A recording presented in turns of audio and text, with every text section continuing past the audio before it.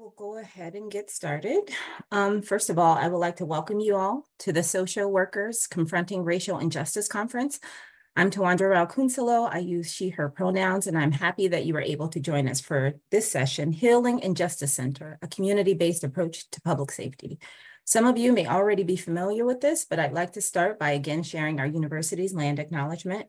The University of Wisconsin-Madison and the Sandra Rosenbaum School of Social Work occupy ancestral Ho-Chunk land, a place their nation has called Teejop since time immemorial. In an 1832 treaty, the Ho-Chunk were forced to cede this territory.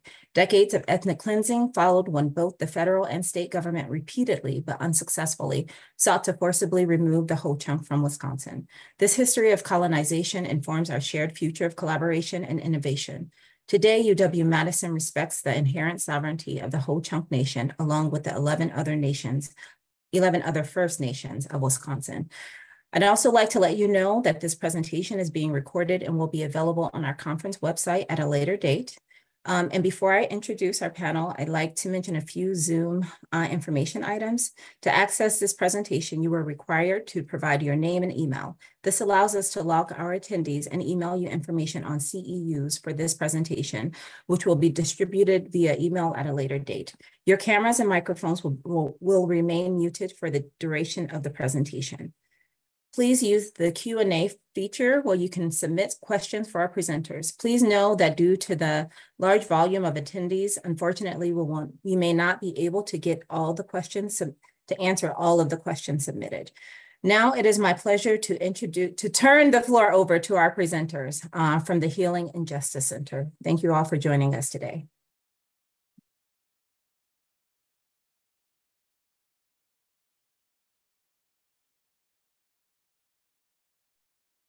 Thanks so much, Tawandra. Um, I'll start off. I'm Shimon Cohen. Um, I do clinical supervision on this project and have been was involved with the start of the mobile crisis, and I'm going to turn it over to Rachel.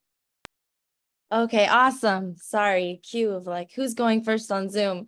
Um, hey everybody, really, really grateful to be here for this conversation.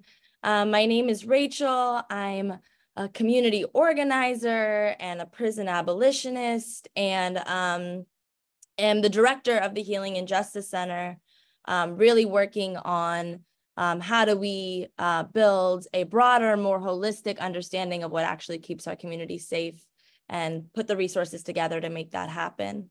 Um, so really grateful to be here with y'all in conversation today. Um, my name is Tarrah Hield-Swann. I'm the clinical coordinator for the Healing and Justice Center. Um, basically, we spearhead um, therapists that's under the Trauma Recovery Center. Um, and we work with clients that are in our communities.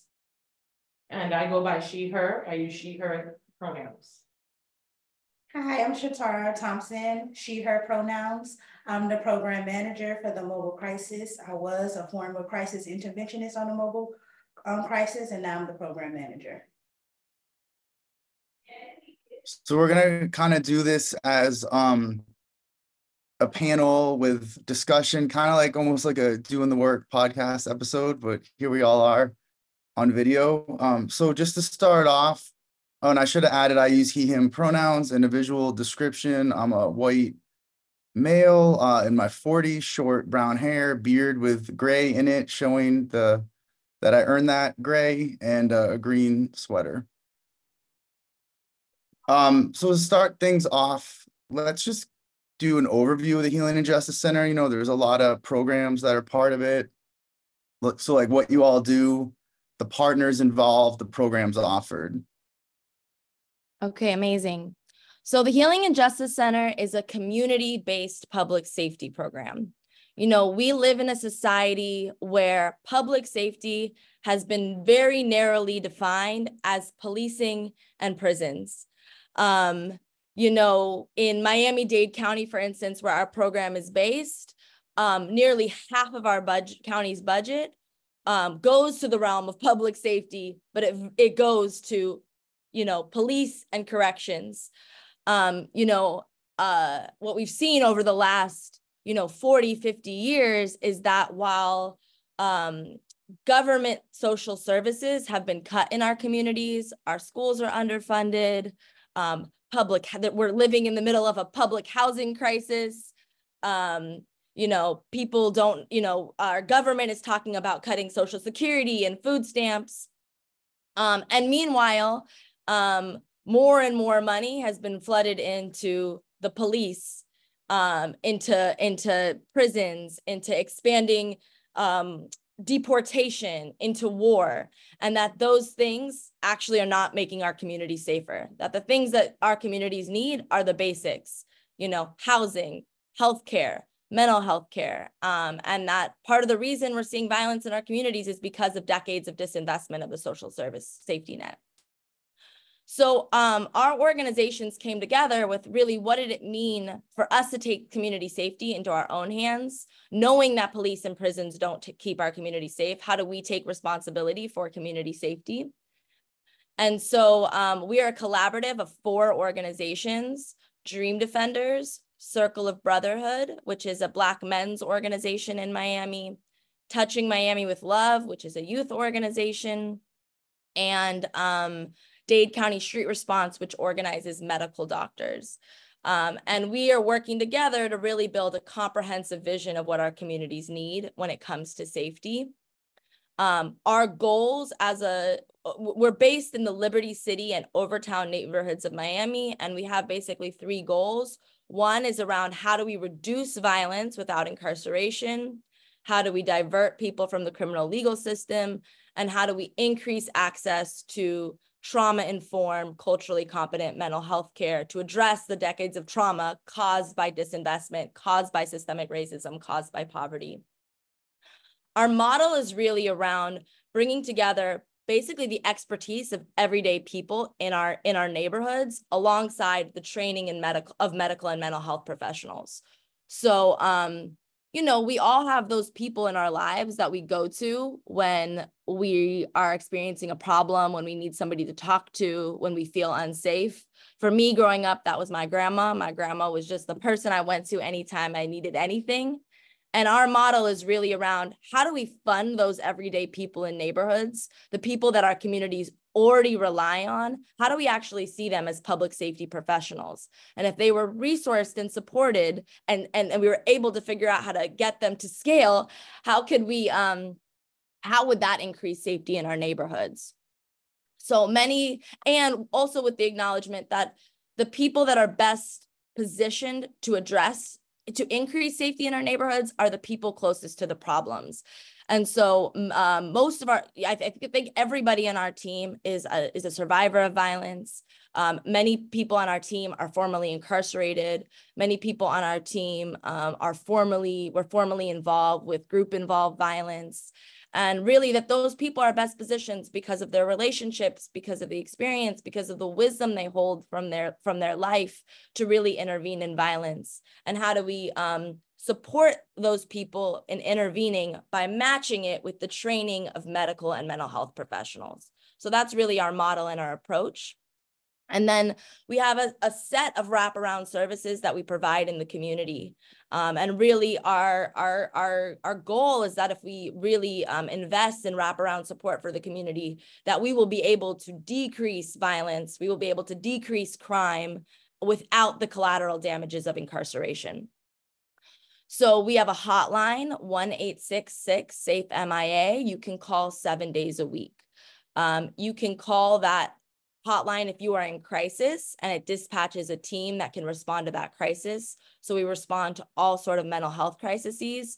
We also respond to shootings. So when a shooting happens in our neighborhood, you know, the police come in and they do an investigation, they extract information to um to arrest somebody, but the collateral damages in terms of trauma, in terms of um, conflict are not addressed.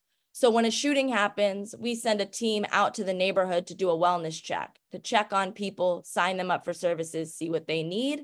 And then we also, our team basically does investigation on what led to that shooting in order to intervene, do conflict mediation, in order to basically prevent further violence, prevent retaliation. So we respond to crises and shootings. In addition, we have long-term long-term services that we also provide to, to support folks in addressing trauma. So we have a trauma recovery center. Tarrah runs that program. Um, the Trauma Recovery Center is based on a national model around how do we support survivors of violence and the aftermath of experiencing trauma to help them stabilize and get the support they need um, to get their life um, back on track. So um, we do, it's a mix of both case management and therapy. Uh, we help sign people's up for victims compensation. We help people with safe housing. We help people with um, all the sorts of things, legal support, all the sorts of things somebody might need in the aftermath of experiencing violence. So that's our Trauma Recovery Center. In addition, we have a mentorship program really focused on how do we get to young people who are most at risk of experiencing gun violence, most at risk of being a perpetrator of violence, and um, support them in getting the resources they need um, to to not partake in violence, whether that's mental health support, emotional support, um, you know, um, helping them, you know, graduate from high school, helping them get a job. Um, we know that many young people in Miami participate in violence because of poverty. Um, young people literally get paid to, to, to shoot people in Miami. So it's literally a source of income for young people. So our mentorship program is really focused on how do we get young people support, um, mentorship, healthy adult guidance um, so that they don't choose the path of violence. Um, in addition, we have youth programming inside Miami-Dade schools. Um, you know, our young people are experiencing all sorts of trauma and our school system is not at all equipped to help them process it. So we provide healthy social emotional learning to young people, helping them, um, you know, uh, learn how to understand their own emotions, relate to other people's emotions, how to de-escalate conflict, um, and really, you know, providing young people the tools and skills they need to stay safe. Um, in addition, we also do all sorts of trainings for the community. Uh, one of our theories is that how do we get the community the tools they need to intervene in violence? Like it's one thing for our team to show up, but how can we give communities the tools to be able to intervene themselves? So one of the trainings we do is a stop the bleed training where we train community members to intervene um, and support um, and you know, treat a gun wound, um, you know, knowing that ambulances don't come to our communities as quickly as they come to wealthy white neighborhoods. And so um, literally treat, training somebody how to bandage a gun wound can save a life. Um, so we do that. We're also um, do like mental health first aid trainings and things like that as well. Um, so yeah, that's an overview and um, really grateful to be able to share with you all. Before that was awesome rachel. Thank you so much. And before we go like deeper into the programs and you know more about how they operate just to even go back a little bit in terms of how dream defenders you know decided to take on this type of project going from really like an organizing and advocacy um you know organization to now like providing services yeah that's a great question so um, Dream Defenders was founded in 2012 after the murder of Trayvon Martin. Um, young people came together across the state um, in grief, in mourning, um, and wanting to figure out what we could do um, to bring justice to Trayvon's life and to address all of the ways Black and Brown youth are criminalized in Florida and around the country. And um, we basically planned, the first thing we did was we planned a big march um, to demand the arrest of George Zimmerman because in the days after Trayvon Martin's murder, George Zimmerman hadn't been arrested. On that march, we decided to start the Dream Defenders. Uh, we realized there wasn't a political home at that point. This was before Black Lives Matter. There wasn't a space for young people to come together um, to fight, to build. And so we, we decided that we needed to start an organization. And in the first few years of the organization, we were really focused on how do we bring attention to the ways Black and Brown youth are criminalized? How do we bring eh, attention to the injustices of our criminal legal system? How do we bring attention to um, the inadequacies and injustices of our policing system? And so um, most of our work was around direct action, protest, um, cultural interventions, really around how do we raise the alarm on what Black and Brown youth are experiencing. And, um, you know, over the first couple of years of the organization, we saw this ballooning and growth of the Black Lives Matter movement. Um, and in 2014, after the murder of Mike Brown, um, we saw that there was sort of this um, crescendo of both uprising around the criminalization of black of black youth um, and also kind of a break in public opinion a shift of the Overton window around prison and policing. Um, you know people were talking about prison abolition publicly like we hadn't experienced that. I hadn't experienced that in my lifetime before. And so um, in 2014, Dream Defenders, after the murder of Mike Brown, Dream Defenders was like, hey, okay, everybody, it seems like in the country is talking about prison abolition. What do people in our neighborhoods think about it? Um, what do people in Florida think about it? So we decided to do a listening project across the state of Florida where we went to neighborhoods across the state and really asked people, you know, do you think police make our neighborhoods safer? Why or why not? What do you think our neighborhoods need to stay safe? Um, do you think locking people up makes our neighborhood safer? Why or why not? You know, and, and really asking communities um, what they thought. And I think we went into that conversation kind of naively, thinking that everybody would say the number one issue is police and the solution is to abolish the police. And instead, um, what we heard was that the number one issue was was was safety and and gun violence and that you know people were very concerned about how is my child going to get home from school safe um, i remember one conversation i had with a woman who had bullet holes in her car st- still from a year prior when her son had been shot and i thought you know who am i as this like you know, young organizer to tell this woman that we should abolish the police when there's not an alternative in its place. And, um, you know, that really just called on us to like kind of evolve our politic, you know, that it wasn't enough for us to just be against systems.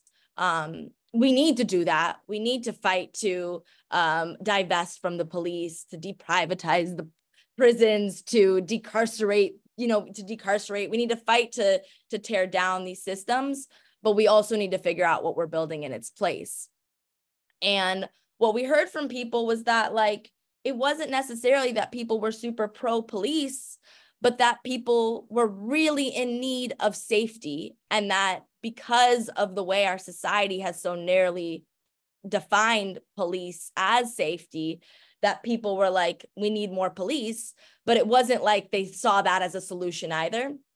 And so it really called upon us to figure out, you know, what are we doing to build the alternative?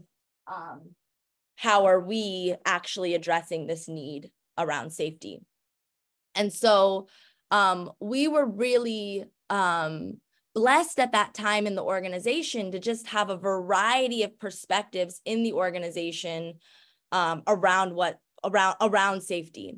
So one of our members, Dr. Armen Henderson, had just gotten to Miami as a as a for his for his um, medical residency. So he had lots of thoughts around you know uh, around around safety. Uh, we also had a member, Adajare McMillian, who was um, in school to be a therapist. So he had, you know, brought us all sorts of language around trauma that, you know, we didn't have as organizers. Um, and then many of us became trained in restorative justice and circle keeping and conflict mediation. We had members who were public school teachers. We had members who, we had a member who was a public defender. So we sort of took all these perspectives to really think about what would a comprehensive approach to community safety look like? And over the years, we just kind of like started different elements, kind of one at a time. Like I said, we started doing restorative justice circles to deal with conflict within the organization. We started doing these stop the bleed trainings. We started a mental health program. Um, and eventually we realized that um, we needed to even as we're building this ecosystem of safety, we need to even step out a little bit greater than Dream Defenders, that there were skills that we had within the organization, but that there were other organizations that were better positioned around other pieces to, um, to help us think about what it was safety ecosystem would look like. So we formed a coalition. We brought in Circle of Brotherhood, who does violence intervention. Um, we um, you know we launched this mobile crisis program under the leadership of Chettarra around how do we respond to mental health crises without the police and just over time really built the comprehensive model we have today. And i'd say it's like a really exciting time to be in community safety. Um, what we are seeing is that around the country programs like ours are um, you know, for the first time ever, really getting funding and resourcing to be able to scale up our programs.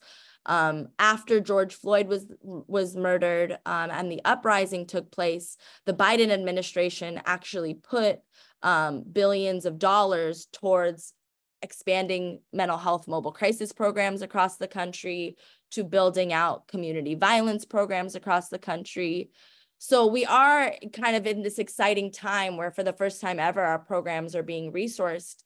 And what we're seeing is that, um, you know, in places where these programs are really invested in, they're seeing a reduc an all-time lows in violence and all-time lows in in in other forms of crime.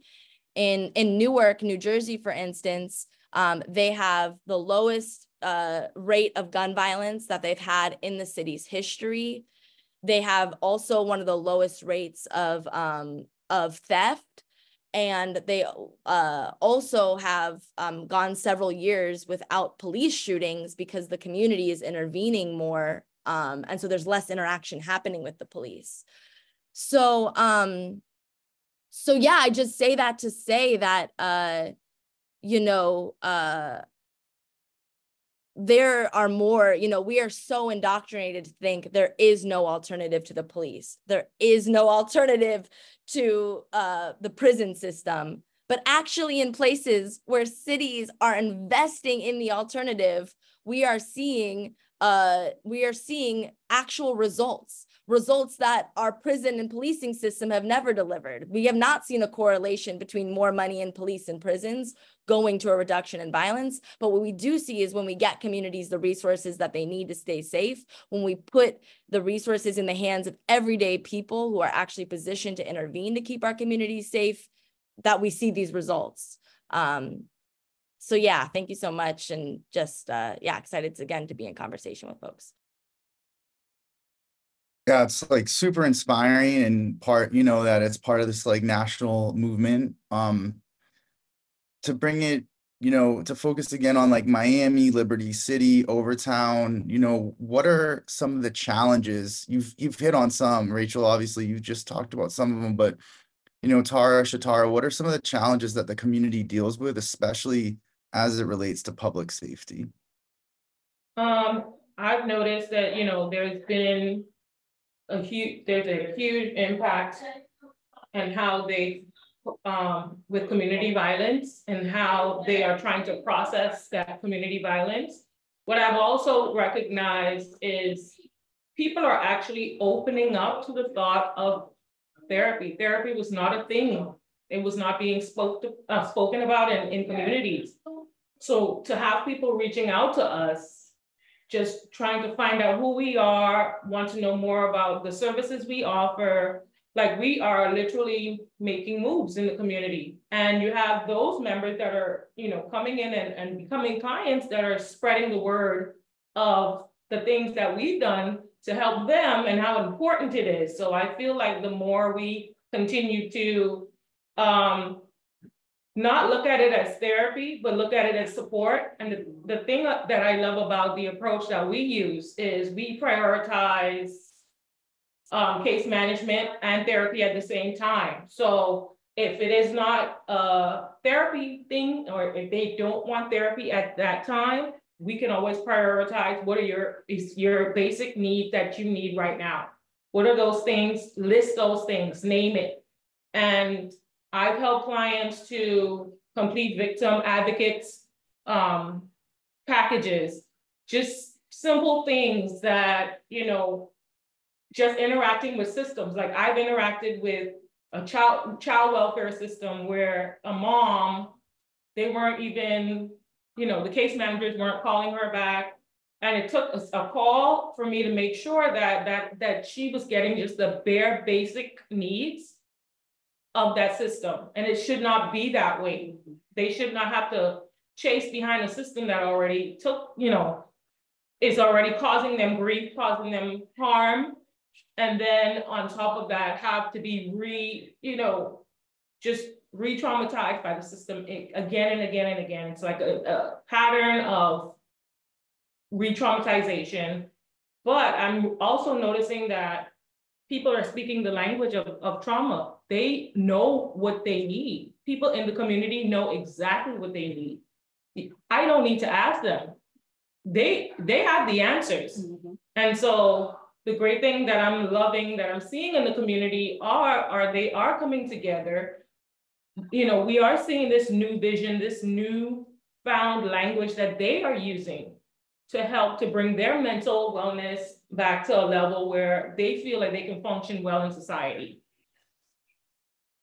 I also think it's uh, accessibility to just like you say, wraparound services, health services, mental health services. What I've noticed a lot is with the lack of accessibility, there's also trust because the thing, the those things and places that are set up in the neighborhood and Overtown in Liberty City, they don't have, they don't trust the people or the people aren't doing what they say they're gonna do. So they overpromise and underdeliver. And that's one thing that in our organization that we, we try not to do that we pride ourselves on not doing because that without the without the people's trust, we won't be able to have this organization. It won't be long lasting. So one of our clients that we've had, we told her, you know, hey, we introduced ourselves, told her who we were, and she was like, I don't believe y'all.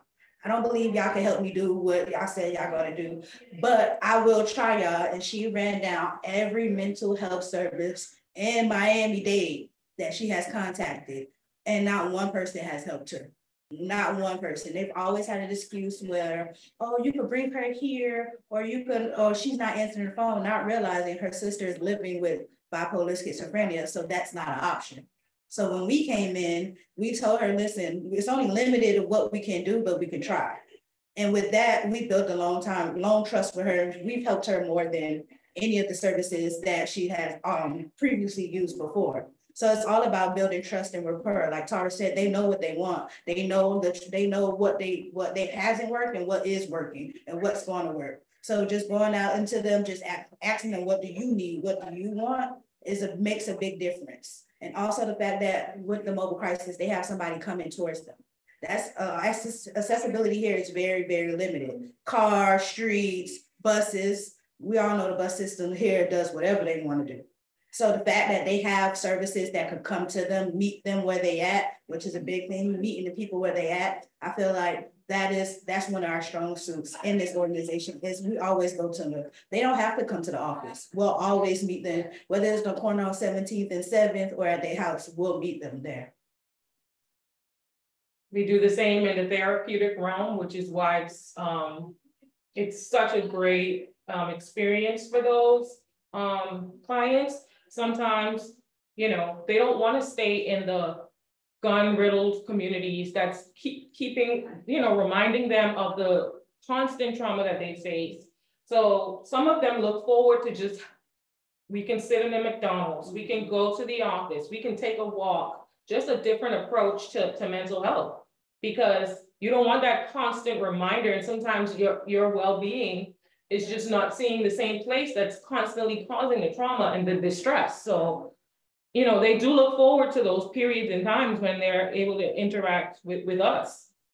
And we build rapport with them. So we do a long-term follow-up care. It's long-term. It's always, you're never not a patient of ours. And I think that's what a lot of organizations are missing is once you feel like, oh, you got your service, that's it you, you should be fine. But with us, you got your service. How is the service? Is it adequate enough? What do you need? What else do you need from us to help you maximize the services that, that we're offering to get you back to your equilibrium? There's always long-term care and long-term follow-up when it comes to the client, even with mobile crisis. If we have a, if we do a handoff of long-term care, we'll still contact the client every two weeks, every month, however the client wants us, just to make sure, are you okay? Do you need our services? Are you in crisis? What can we do to help you? And if they're okay, they're okay. And if not, having knowing that somebody's there that's going to follow up with them, is going to care makes a big difference. Just like somebody say, some asking how your day is, that makes a big difference to somebody. Asking how you feel, that makes a big difference. Yeah, and just uh, to add one more thing off of what Tarrah and Chettarra are saying, like Miami is ground zero um, for so many of the crises that humans are facing in this current moment, you know, from the climate crisis. Um, you know, we are in a very, very far right state that is constantly cutting social services. Um, there's a huge housing crisis happening in Miami. Um, where there's exorbitant wealthy people moving to, or the extremely wealthy, extremely wealthy people moving to Miami and pushing out poor people. There's a, so there's a huge housing crisis. Um, you know, the climate refugee crisis. So we're kind of like ground zero for so many of the challenges facing humanity right now. Um, and as the systems are kind of collapsing, um, you know, there in Miami, if you are a homeless person, it is pretty much impossible to get housing um, or impossible to get into a shelter. Um, so as the systems are collapsing and the impact that is having on everyday people, um, our ability to be nimble, to meet people where they are at, to build trust with people, to build community with people, to bring people together and really meet their needs, um, is is is really is is really important at this sort of like crucial moment in human history when so much is collapsing around people and the, the sort of government solution like our our state is about to pass a policy that is about to make um, um, homeless encampments completely illegal. And um, which means if you are if you are outside sleeping you will be arrested automatically. Um, and there's not enough beds for the amount of houseless people there are in our shelter system. So you know the government solution to these crises again is is criminalization is incarceration is deportation. And um, we're really coming together in the face of these crises to say how do we meet people where they're at? How do we meet people's needs? And how do we help people survive these really challenging times we're in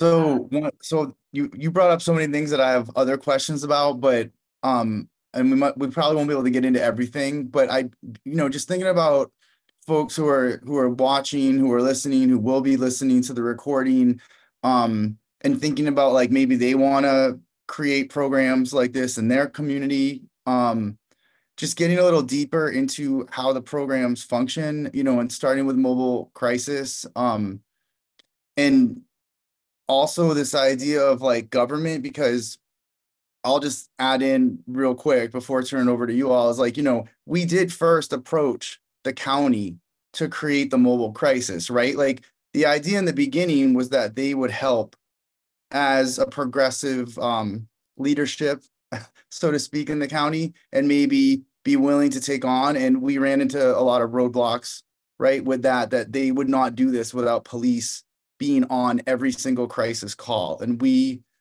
we wouldn't do that, right? We were going to say it's going to be a medical person and a crisis interventionist together going out. So I just wanted to put that out there because for folks who might be looking into creating this, that is that is one model that keeps getting put out there is pairing a social worker or a therapist with a police officer, and that's not what this program. That's not what we're doing with this program. Um, that's we're not doing co-response we're doing like a mental health first type response with medical professionals and crisis interventionists so i just want to throw that out there and maybe then you all can get more into like how the mobile crisis, you know, functions and operates in a way that folks listening might have some ideas of how they could do something similar.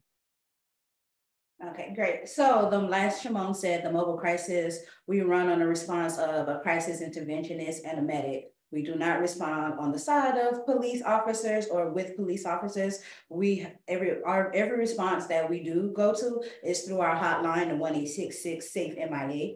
When we go out to respond to any crises, mental health crises, the medic uh, always goes on the scene first, just to make sure that there isn't any medical um, emergencies that are masked as psychosis or mental health problems. Because we have had a patient where her UTI, long-term, long-term UTI for a couple of months, and that turned into psychosis. So our medic always goes to make sure that is medically clear. Our medics can range from anywhere from CNAs, LPNs, RNs, EMTs, any anybody that's licensed in the state of Florida. Um, our crisis interventionist goes in to do any de-escalation techniques, um, any suicidal ideation planning, and that's and that sort. We deal with um, a variety of mental health crises, such as um, grief and loss counseling, child and abuse neglect um, cases, welfare checks, um, mental health crises, and um, homelessness related um, crises, such as trying to get them back on their meds, trying to do medical care as in trench foot. I don't know if guys have heard of trench foot or saw it. It's not a pretty looking thing, but it's when those that are unhoused um, keep their socks or um, shoes on for a long period of time with moisture and it could deteriorate the skin. So we deal with a lot of um, unhoused with unhoused related issues. The um, we believe that it's autonomy. So our, our main goal is to have the patient autonomy. We do not do anything the patient doesn't want to do. We don't work if the, the patient doesn't want the police call, we're not going to call the police. The patient doesn't want to go to crises, we're not going to take them to crises. We're going to do find different ways, different techniques to help that patient so they don't become traumatized. Because as we all know, being Baker acted by the police is a traumatizing experience, especially uh, under a problem for Black and Brown people in this community. So to negate that is we try to empower our patients to for autonomy to be to meet them where they're at to get the they like Tarrah said they know their needs. So how can we help you achieve those needs? We um we only deal with the police if necessary. That's the last resort to anything if we couldn't find other ways. And even then, we have a system where we have to call our clinical supervisor. We call Rachel. We debrief really quick to make that decision on are we going to take them to crisis. So far, we've only had to call one time to have a patient Baker acted so far. And they were in, weren't in our county, they were in Broward County. And we've had two voluntary Baker Acts. So they told, they came to us and was like, if you don't take me to the hospital right now, I'm going to kill myself or kill somebody out here. And so they was like, oh, and we asked them, we have a series of questions. Are you going to jump out of our van if we take you to crises or different things like that? And we transport them to crises. We've worked where um, uh, we were driving and somebody flagged us down because they had a patient that was having suicidal ideations, was threatening to harm himself, not others, just to harm himself. They told us they called the police two hours ago. The police never show, hasn't didn't show up. We came before the police came, and we just just because we just happened to drive by that that area. And ironically, when we pulled up, maybe 10, 15 minutes later, the police came they assessed the situation and let us handle the situation and we were able to transport him to VA and not re-traumatize him for going in the back of a police car just to get some help. We don't believe that you should be traumatized to get your basic needs, to get your help. Police should not be responding to mental health crises because that's just forced on something that you're already terrified. That just brings more trauma, more terror, terrorization to that person. So yeah, the mobile crisis, we run mon Monday through Saturday, 2 p.m. to 10 p.m. We have a contract with NAT 988, the National Suicide Hotline. So our hours are in line with their um, peak hours in Overtown and Liberty City. They said that they see an increase in mental health calls through 2 p.m. to 10 p.m. So we set our hours to to wrap around their services from 988, so we'll be, be available. Thank you so much, Chettarra. That's so helpful, you know, and uh, that's a great example of the police not coming for two hours and then showing up and letting you all handle it because they know, you know, at a certain level, they know too. Um, there are, I just want to put it out there, there are Q and A, there is a Q and A, so if folks have questions, you can type in the Q and A and we're gonna leave about fifteen to twenty minutes at the end to go over the, those questions. Um, so we will do our best to get to all of them at the end. Um, Rachel, do you want to talk about some of the models that, you know, where the, tr- some of the trainings that happened to create the mobile crisis, you know, um, initially, right, there was like some New Jersey going out to Oakland, some of that. Yeah, sure. So, um, I'm trying to think of where to begin, but yeah, I mean, like I said, we're a part of like a really exciting moment where, um, programs are receiving kind of public recognition and there's sort of an opening around safety outside of police and prisons. So in the development of the Healing and Justice Center, we had the opportunity to sort of travel and look at different models um, and kind of think about what we wanted to bring back to Miami. So one of the programs we visited was the Newark Community Street Team, which was actually a program funded by Mayor Ras Baraka. When he became mayor, he was like, how do I take money away from the police and put it towards a community approach to safety? And so they have a very comprehensive, similar to our programs, set of programs that work together around um, community safety. Um, uh, we also had the opportunity, we learned a lot from Cahoots in Eugene, Oregon, which is a program that has existed since the 1970s around they do mental health mobile crisis. And basically in Eugene, if you call 911, um, calls are diverted directly from 911 to this community organization, Cahoots, that goes out, responds um, without the police, um, and then is able to get folks access to the long-term services that Cahoots provides. Um, we also had the opportunity to visit a program in Oakland called Macro, um, which is also, you know, a mental health mobile crisis response. Um, in addition, we're learning a lot from um, a national model around this trauma recovery center. Um, it originally came out of the University of San Francisco around how to increase access to services for survivors of violence. Um, and there are now trauma recovery centers all across the country, some of which are hospital based and some of which are community based, like ours. Um, and then in addition, we're learning a lot um, from the community violence intervention model, which is around violence intervention. How do we really focus on actually the one, like if you look at most communities, there's 1% of the community that is actually engaging in gun violence. So the community violence intervention model is around how do we get to that 1% and um, support them in choosing an alternative life path. Um, and in communities where they focus on that 1%, they've been able to see a huge reduction in violence and shootings. So we're really lucky to be kind of part of this moment where there are evidence-based models across the country, um, models that are working completely outside the policing system um, and are seeing real results. Um, and it's quite frustrating because in Miami, there's still very much this dominant view around police have to have some amount of involvement, despite the success of these other models across the country. So as Shimon said, you know, when we went to the county, they just could not comprehend what it would look like to do this without police involvement. You know, it was actually quite ironic because one of the things that they named was that they were afraid around being sued. Like if somebody calls 911 and they're expecting a police officer, but a social worker shows up, we're going to get sued.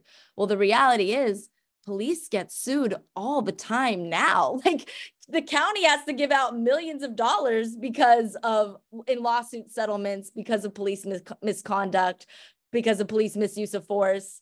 So um yeah, it's it's just you know the even just pulling out the contradictions that exist in their arguments there's just still such a dominant view um, that the police have to be involved. But what the studies show is that like in all the programs where police are being used alongside a social worker they aren't effective because the community still experiences that as a police officer. And ultimately the police officer is still the one in power in the power in power and the between them and the social worker. And this all of their training is around to see somebody as a threat rather than as somebody who needs help. So, um, you know, we really had to say, just how do we take this into our own hands? You know, we can't wait for the county to adopt this. Like our communities in crisis, our communities need an alternative now. Um, and so we've just been basically studying, learning a lot inside these evidence, other evidence-based programs around the country, and really taking the best of that and bringing it back to Miami. And as Rachel said, you know, with the police, we don't go out with any weapons. The only weapon we have, which is not really a weapon, is mace. and then we have protocols like we're gonna mace a dog before we mace a person. So with the what you know how the police act like, oh, you can't go out there without you know weapons. We have to be in defense mode at all times. That's simply not true.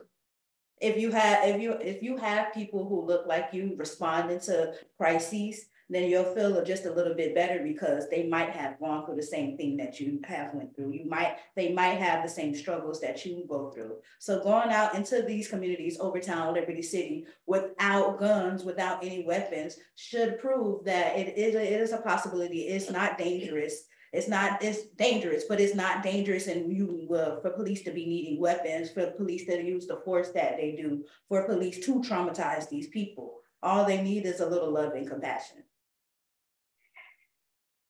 Yeah, that was something that really like was eye-opening to me when we were in some of these uh Zoom calls like a few years ago, you know, with like the like some of the police, some of the people in the uh, county government, some of the lawyers and I remember one of the lawyers saying something about like every call is a threat, right? Because it was all about like liability. They were like we can't justify someone calling 911 and then not having a police officer be on the call. And I just remember thinking, and I, I asked them this, I said, do you know how many social workers and mental health professionals are actually doing home visits all over Miami-Dade County every day, going into people's home, assessing the threat, first of all, not expecting a threat, but being ready for, you know, being trained and prepared, but not already going in there like with a gun drawn, you know, for example, and being ready to draw a gun. Because we heard some stories about that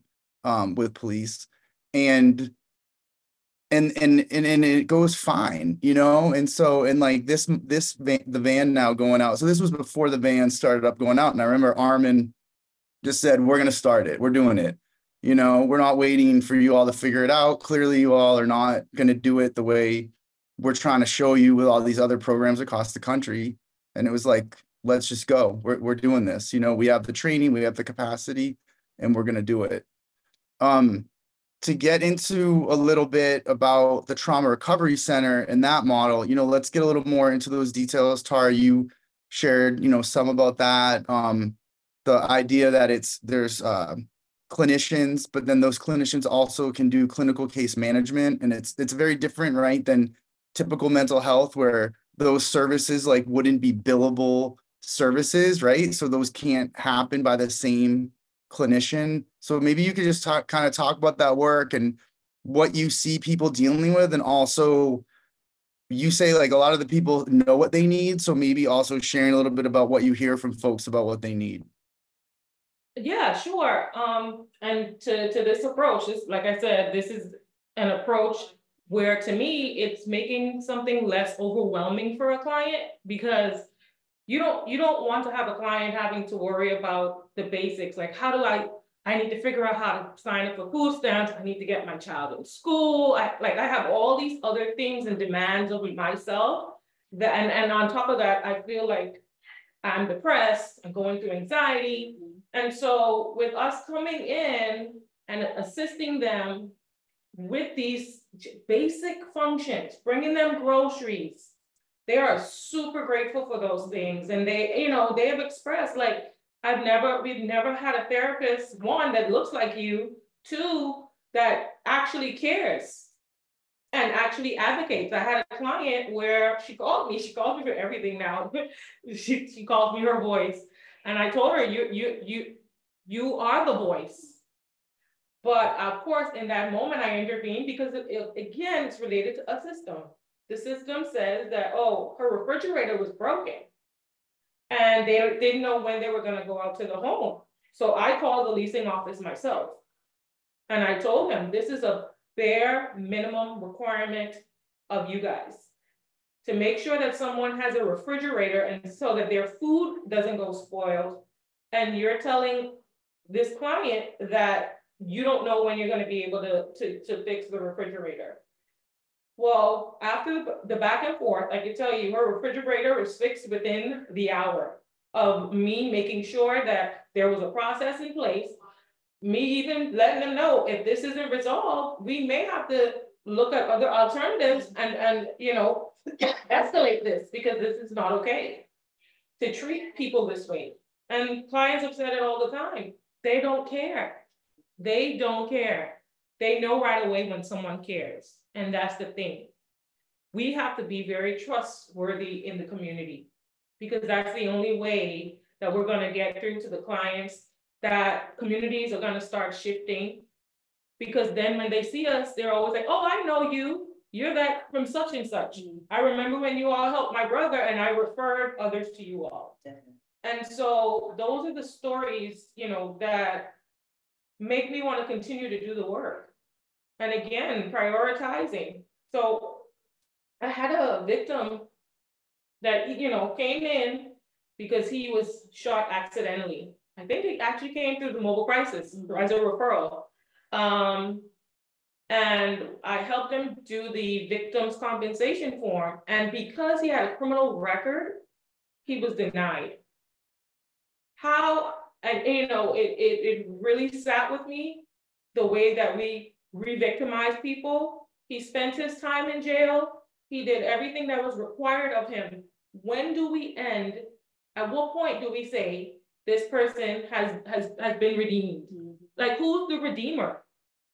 Why do we keep punishing people for things that, okay, you, you, I will, he spent his time in jail, that should not be something that is being used against him at this point. So, you know, and I know it was very disheartening because one, just to have a criminal record, he lost his, he ended up losing his job. And so we're going back to basic necessities here where therapy right now is not, a- is not a- something in the forefront. Right now, we're working with trying to get you employment, you know, referring to Circle of Brotherhood, which is another good resource to assist us with, you know, bringing in people who look like, who look like us, who, you know, people that have actually lived the street life and is, and, and now reformed. Who's a better teacher? And so, uh, you know, being, I, I love, I like the, the way that things are set up. It's like a well-oiled machine. You know, we get referrals from the, um, mobile crisis unit and from COB, which is the Circle of Brotherhood. And so there is an assessment that's done. We also have a criteria. Um, you know, we work with clients that are fourteen years and older. They had to have been impacted by gun violence within the last three years. So violence in itself, so that could be domestic violence, sexual assault, um, human trafficking. So I've had an array of different clients that I've worked with. Um, and I go to their homes, go to their, go to the neighborhoods, never had an issue. They know when you're coming, they feel your energy, so they'll already know if you're coming in defense mode. And that's the thing, we have to let our guards down a bit to be able to get through those layers, because trust with them is, trust with anyone that's been through trauma is not easy. And you really have to go in, you have to very much so be, one, empathetic, sympathetic, and be real. They can sense it. And so, you know, I, I love that when they say, you know, I never had someone that looks like me, that cared, or that came to my home, you know, that's always there when I need them. And so we wanna, we wanna continue doing that, and we wanna spread that, we wanna be the blueprint for what care in a community looks like.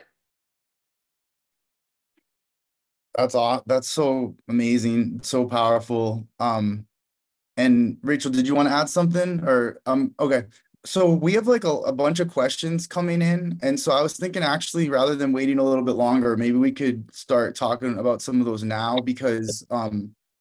There might be more, and also then we can even, you know, then we can, this might get us talking about other stuff. We can always come back to some of our original.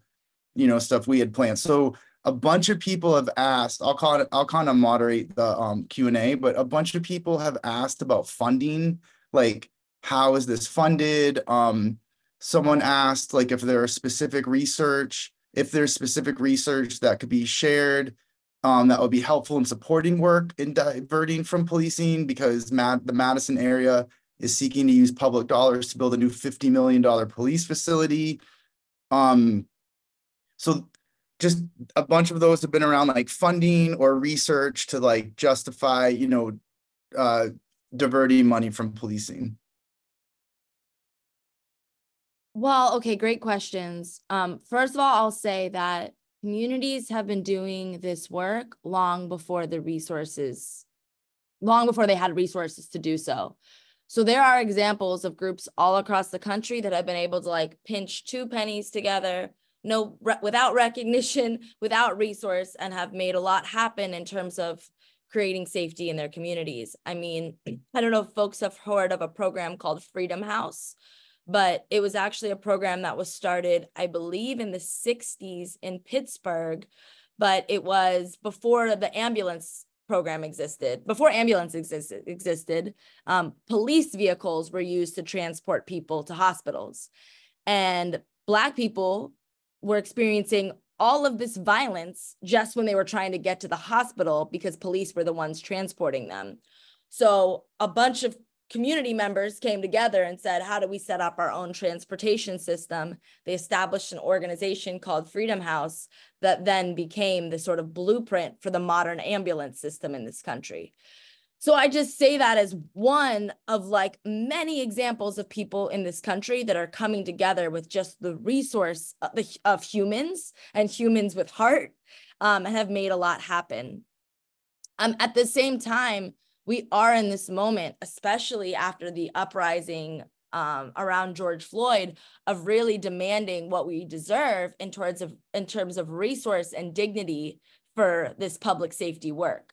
You know, um, the um, you know, in the same way that police have huge budgets, budgets where they're able to offer pensions to police officers to do this to do this work. You know, um, many people in our community become police because it's literally the only job with job security and retirement plans.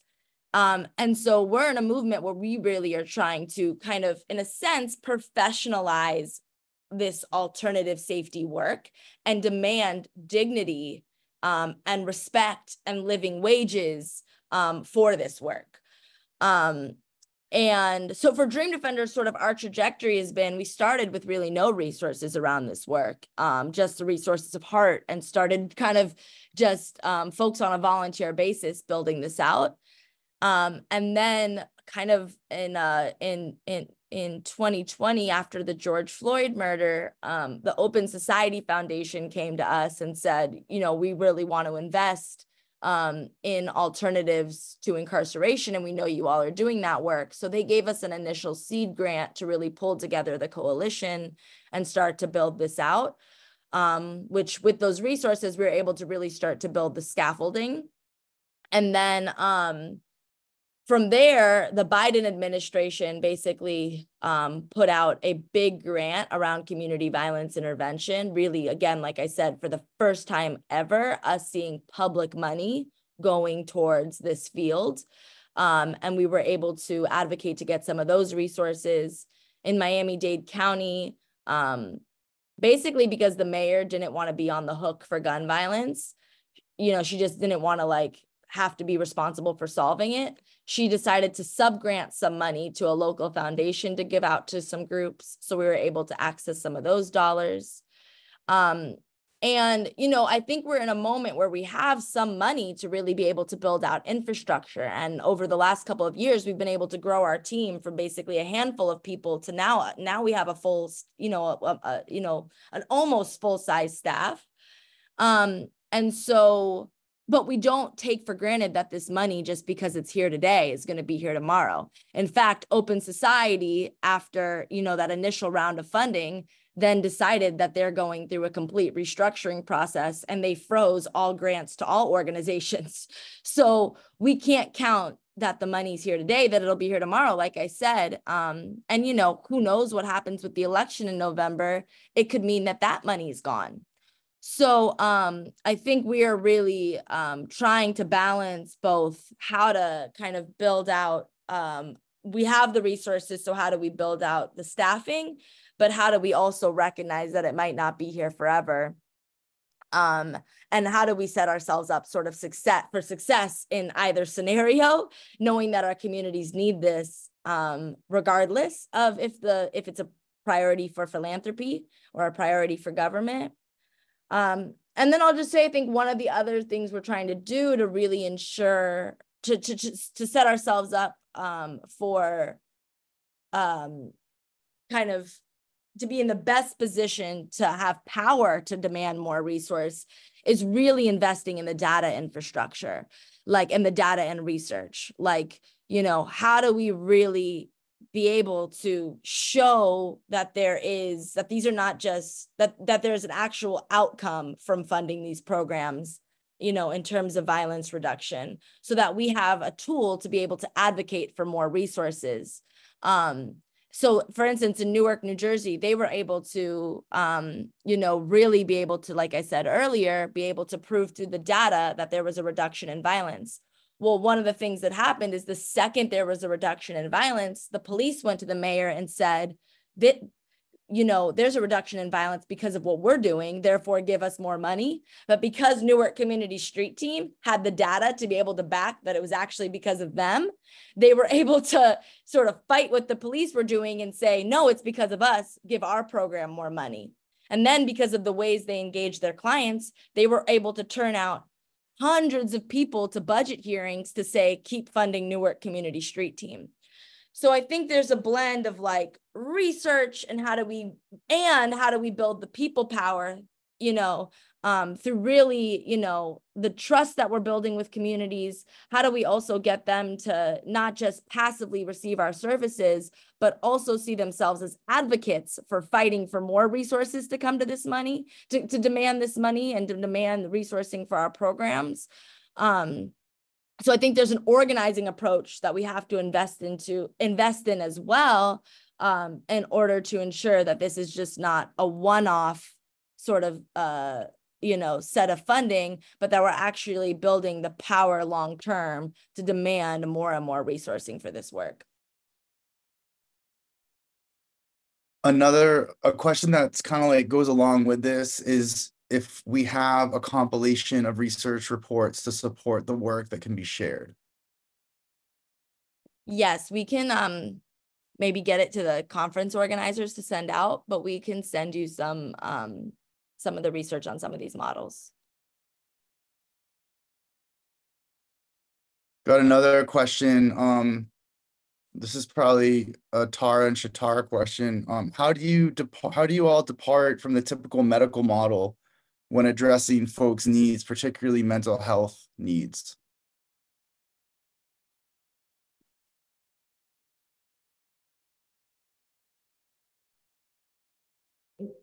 Can you repeat the question? How do you all depart from the traditional medical model when addressing people's needs, especially mental health needs? Um, so like I was saying earlier, when when it comes to mental health, therapists in, in their in their model, they focus strictly on just therapy, nothing else. With our model, we focus on both physical health and mesh that with mental health. So we, and we prioritize which one the client wants to prioritize or feels that they need to work on more in the moment. So if it's not therapy at the time, then we, let's look into the, the housing, let's look into um, what you can get from victim compensation, lost wages. Those are some of the things that what I have discovered just alone doing it with clients have helped to alleviate some of their mental health traumas that were going on. And so sometimes we're in a crisis and then that crisis is making us feel anxious. And of course, that's a normal, you know, response to stress. And so just, you know, just actually just doing some basic bare minimum needs for, for clients has helped them, their mood to change, you know, to decrease and, and not feeling as anxious because then they know, well, I have this person that's helping me to get to these resources that I, I've been wanting. And so I think we don't, we don't do the typical therapy therapy. We do follow very much evidence-based models, such as trauma-focused CBT models and um, the different approaches um, that is out there. Um, but like I said, we we mesh them together, and to me that that propels the client into feeling much better. It's it's like treat it's a double treatment for mental and physical needs. As Tarrah said, especially like in a in a mobile crisis, a lot of the crisis, mental health crises that we encounter are because their basic needs aren't being met. For those that are unhoused, of course, they're gonna be they're gonna be in the middle of the street yelling because they don't have nowhere to sleep. They don't have no privacy. They everything that we do in our homes, they have to do it outside because there there is nothing.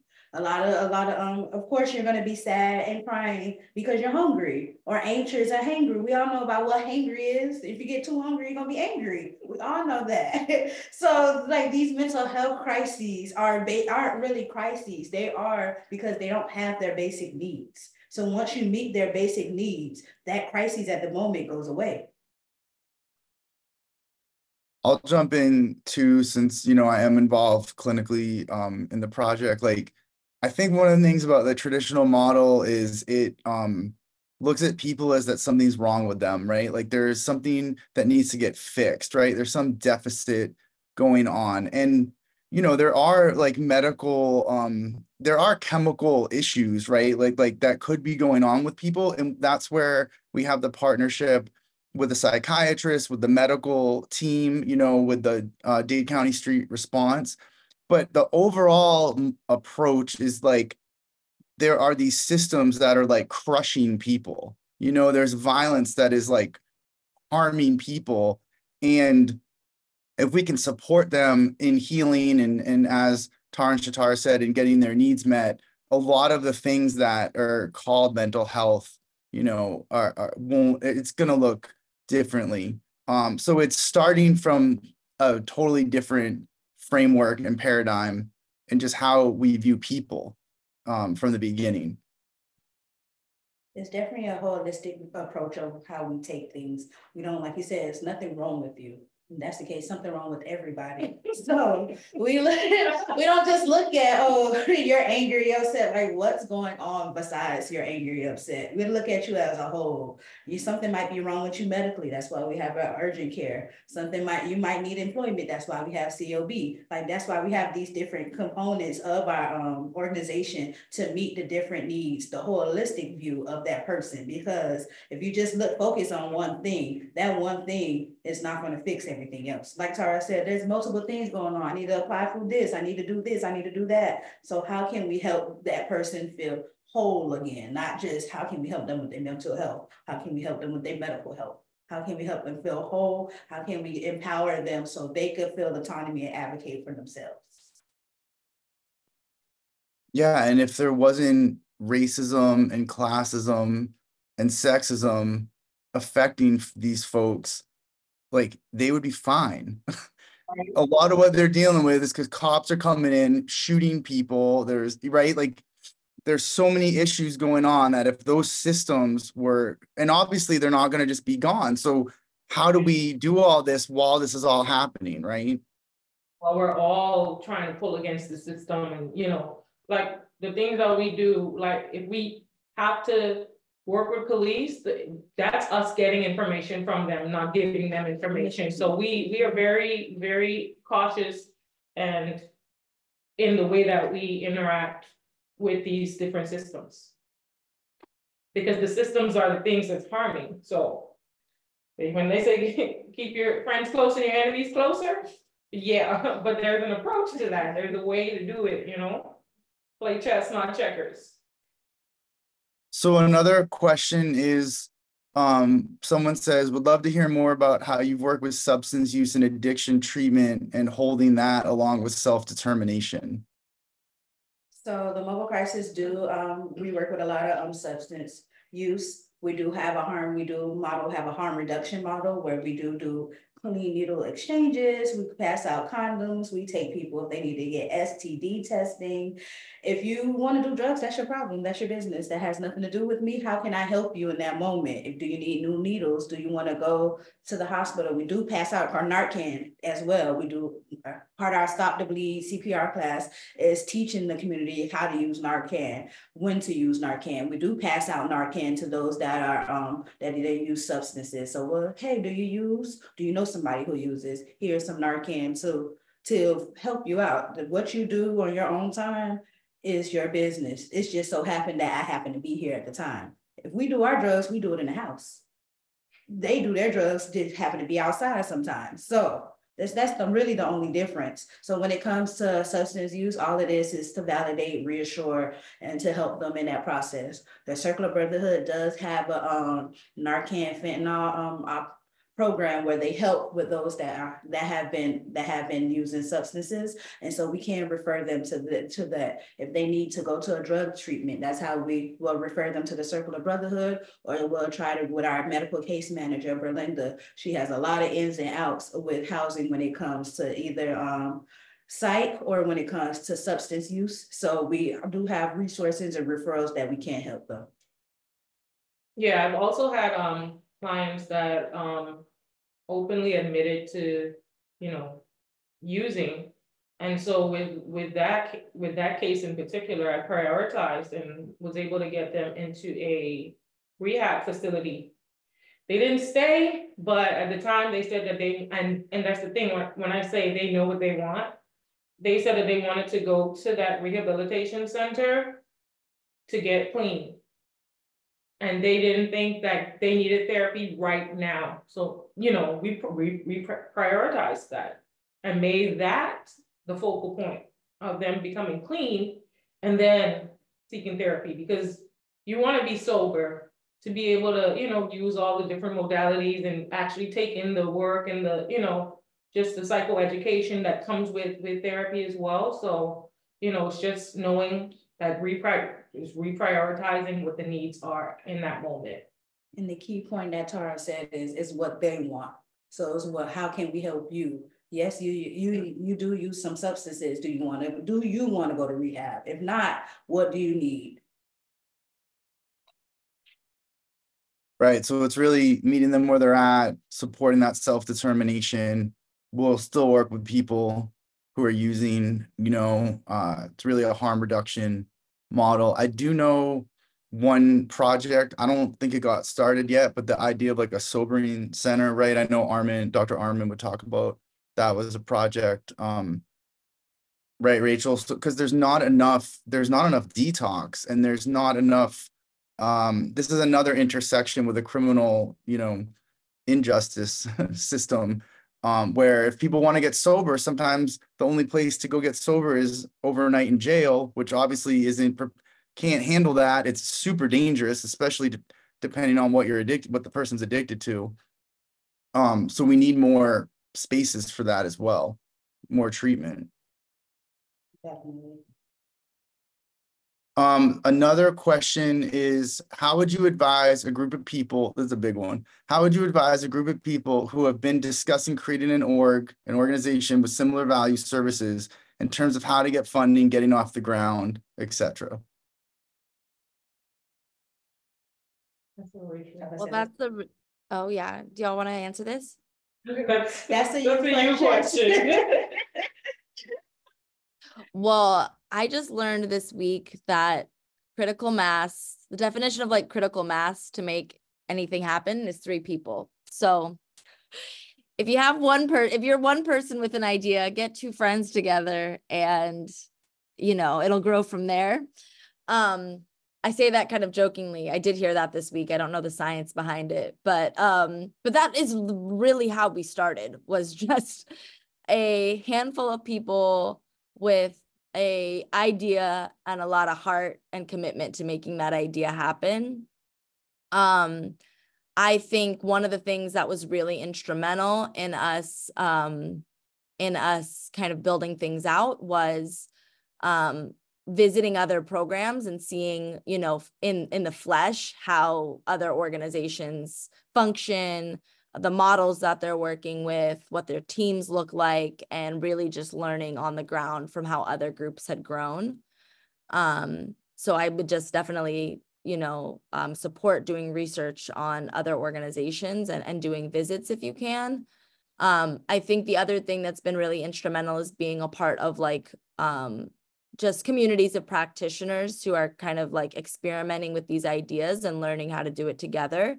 So one group I would really inter um, I would really um, suggest is a group called Interrupting Criminalization.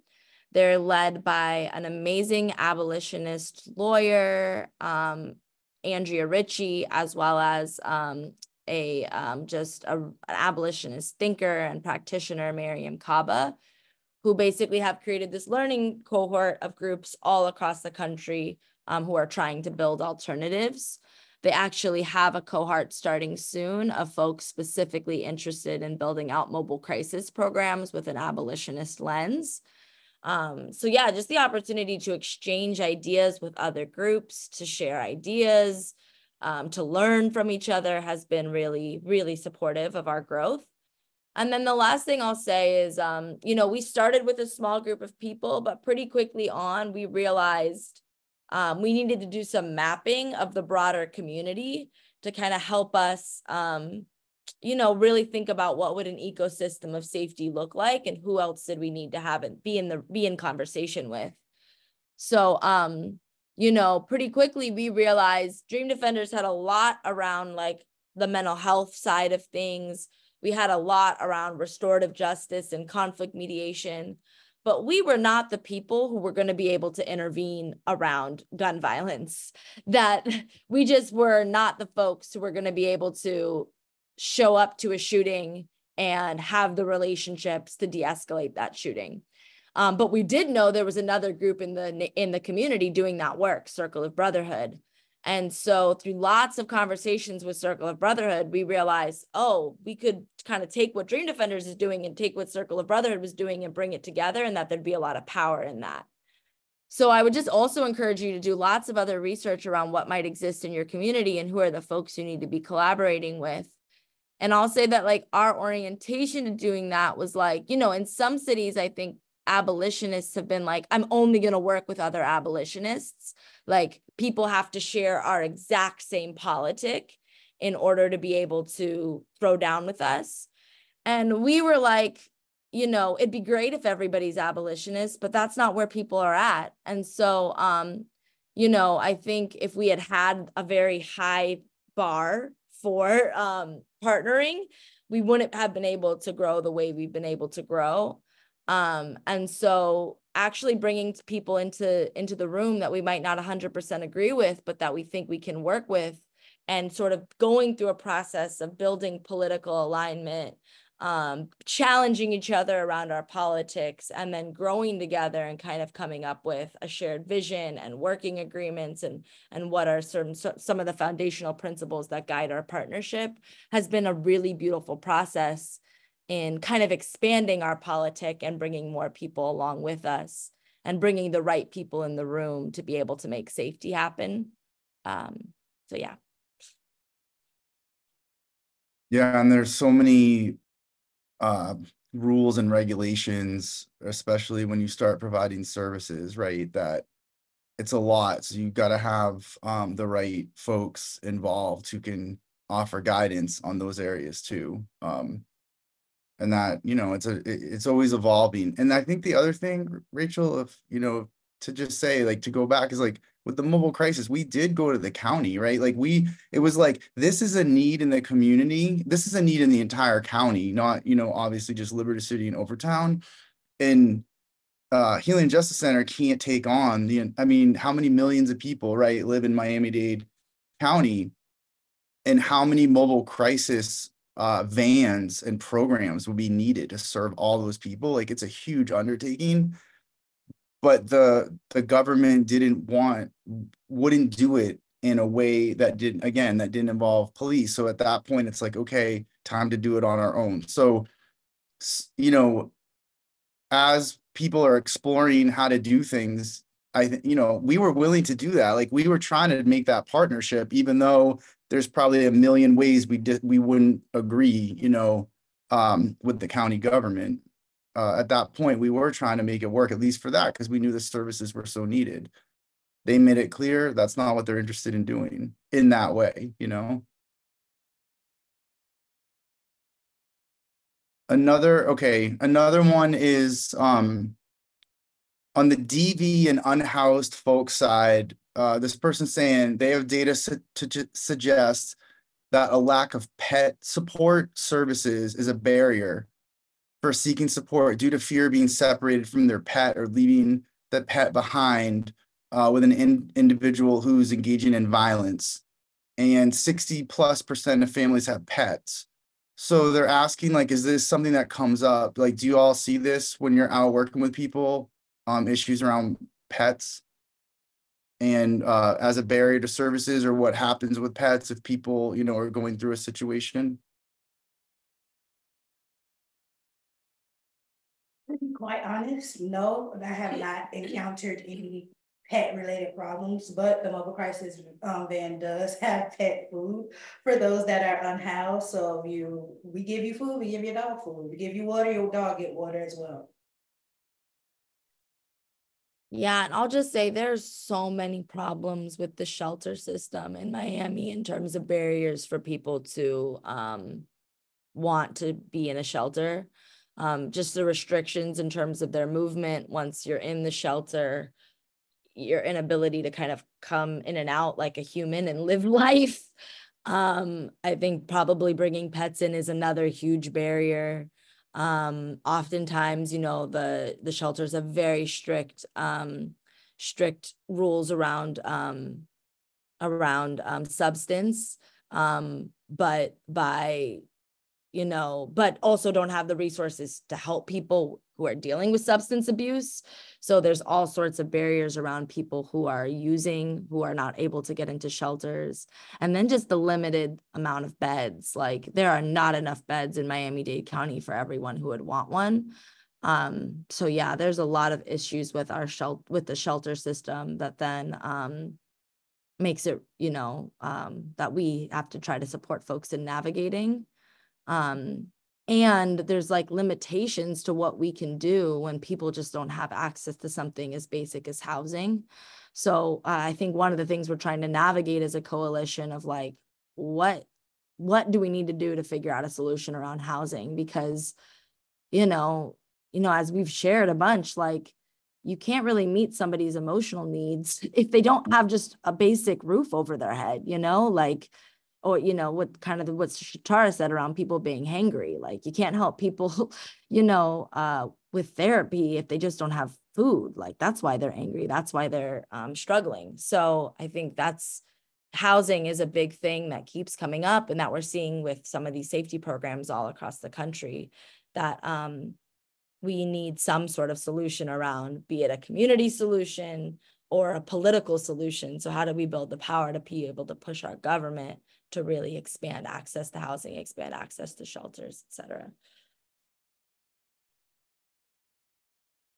So we're almost um out of time. I know that Tawandra has some stuff to do to wrap things up. Um, any final thoughts of something you just need to get out there that wasn't said uh from the three of you? And thank you all. This has been awesome hearing from the three of you all about this amazing work you do. We're good? Anything? Sorry, you wanted to add one thing? No, I'm just, you know, just looking and seeing from where we started to where we are now, it's just been an amazing ride and, um.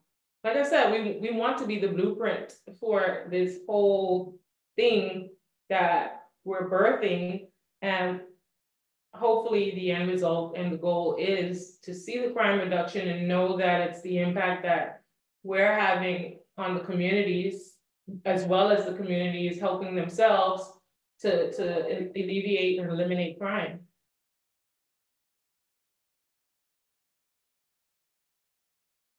Getting some comments in the chat just about thank you, this was amazing. We've got uh, a researcher who's offered um, to help out with research. Um, I, I know her, so I can make that we can make that connection happen after. Um, thank you, Dr. Campbell. And um, yeah, just people saying this is inspiring. And so do you want to give the website out so people can go to the website if they want to learn more and get in touch? Yes, great, great, great. So um, you can learn more about the Healing and Justice Center at healingandjusticecenter.com. And you can learn more about the Dream Defenders at dreamdefenders.org. Awesome. Chettarra, Tarrah, Rachel. Amazing. People are loving it. Uh, Tawanda, turn it back to you to wrap us up. Thank you all. Uh, I learned so much. It's always so great to learn more about non-punitive approaches to public safety. I just have to um, end with a few things. Again, many thanks to our presenters for sharing their time, expertise, and valuable information with us today. It's greatly appreciated. And thank you to everyone in attendance for being a part of this event and for your commitment and efforts to confront racial injustice. Please watch for an email with the link to complete an evaluation on today's presentation and watch for a separate email regarding CEUs for those that requested them when they registered. Thanks everyone, and we hope to see you again next year. Thank you so much. Bye.